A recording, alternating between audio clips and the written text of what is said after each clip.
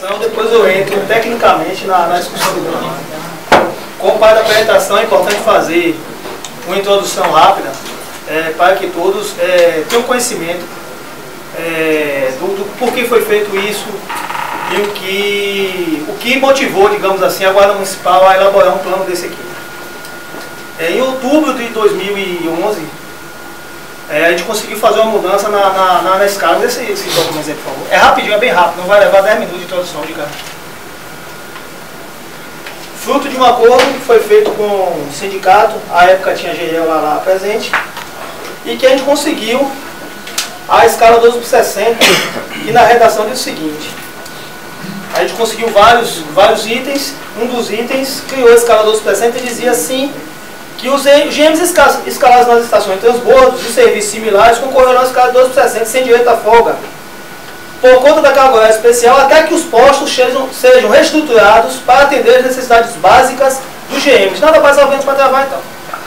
A escala 12 por 60 foi implantada na Guarda Municipal justamente para, ó, a administração não dá condições é, é, para a gente trabalhar, então a gente pediu uma redução na escala para poder também dar uma compensada, foi feito dessa forma. Eu lembro que eu redigi o texto para publicação, e na época também esse texto foi colocado sem um artigo que eu não concordei, e não concordei até o fim. É, a, a portaria de publicação foi a 01 de 2012 da Guarda Municipal. Ela implanta a escala com o seguinte texto, considerando a necessidade de estabelecer, padronizar e operacionalizar as escalas de serviço da Guarda Municipal, resolve.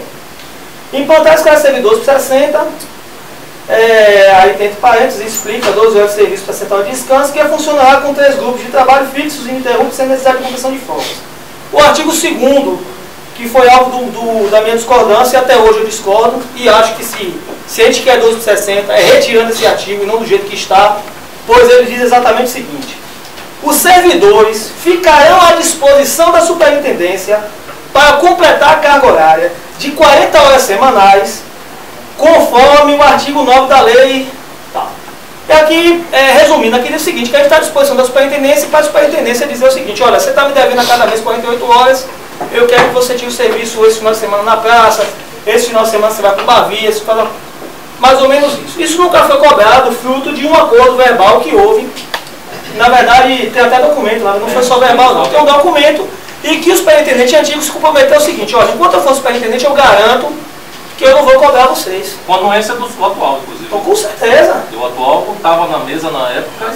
Pronto. Ele é assessor especial à época. Então, ele disse que enquanto ele fosse superintendente, é, ele manteria toda a forma que estava. Bom, mudou o governo, mudou a superintendência, e o prefeito, o atual prefeito Semineto, desde o dia 2, que ele disse que agora tem que funcionar, tem que ir para a rua, tomar conta das pragas, pagos e é, Apesar de eu, quando eu entrar tecnicamente aqui, não vou, realmente vou ser imparcial e não vou imprimir e exprimir a minha, é, digamos, a minha posição pessoal, seja isso aqui ou não. Mas eu acho que no momento da apresentação, como os outros tiveram direito, inclusive em publicações em, em redes sociais, eu vou colocar assim minha posição, minha posição pessoal, enquanto GM da Guarda Municipal, nem enquanto engenheiro de operação, nem enquanto Guarda Municipal. Eu acho o seguinte, se é para manter 12 por 60, eu entro na luta com todo mundo. Agora manter retirando o artigo 2 Se for para manter do jeito que está, eu prefiro a aplicação pode, pode, pode ser que não seja desse plano, mas de outro plano, que corrija isso, porque a gente vai ficar à mercê da administração, inclusive, tipo, discussões que nós enfrentamos das confederações da seguinte forma, por que, que eu vou pagar a vocês para trabalhar na das Confederações se vocês estão me devendo? Então... Queria fazer uma vez da fala de isso aqui é um debate estamos num debate, eu acho que a gente tem até por obrigação questionar, não, e colocar a opinião. Você Isso. tem que colocar a sua opinião. Bom, não, não tem como fazer um debate sem colocar a opinião. Exatamente. Então eu me coloquei favorável nesse sentido. Entendeu? Minha opinião e é essa aí não. É, geral, no primeiro momento, como ele publicou, estou falando que você publicou na rede social. Ele se colocou contrário, o outro colega que estava lá, bom, continua contrário.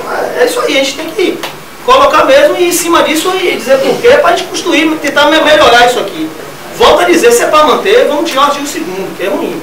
Se a administração resolver amanhã cobrar isso aí, vai ficar ruim para todo mundo.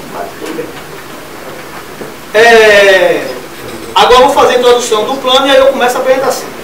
Por que começou esse plano? O que motivou?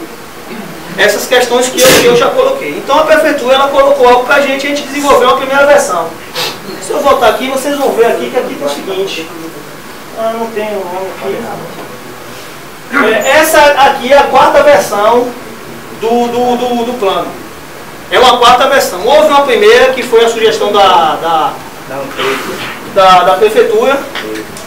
Ela colocou a primeira versão do jeito que ela quis, que é aquela com a compensação de horas. Dizia o seguinte, se ia criar um banco de horas e ao final de cada mês, as horas excedentes eles pagariam através de, hora extra. O que de fato é ruim. Era ruim para todo mundo. Porque tinha mês que ia ficar 4 horas, tinha mês 8 horas. No máximo, para o atendimento de um ano, inclusive o André me ajudou nesse sentido, não foi André, André acompanhou. No máximo a gente ia receber 28 horas extras. E em fevereiro nós deveríamos, iríamos dever ao município 4 horas extras. Pelo banco de horas que, como é feito em qualquer instituição. Então a gente procurou a melhora e a gente conseguiu melhorar. A terceira versão, digamos assim, que a primeira foi a versão do, do, do município, a segunda versão foi uma tentativa que parou durante algum tempo foi pela não implantação, a terceira foi a, a, a versão da Guarda Municipal, e simples, nós levamos a nossa versão, e a quarta, digamos que foi um meio termo, digamos que 80% do que a gente queria e 20% do que o município queria.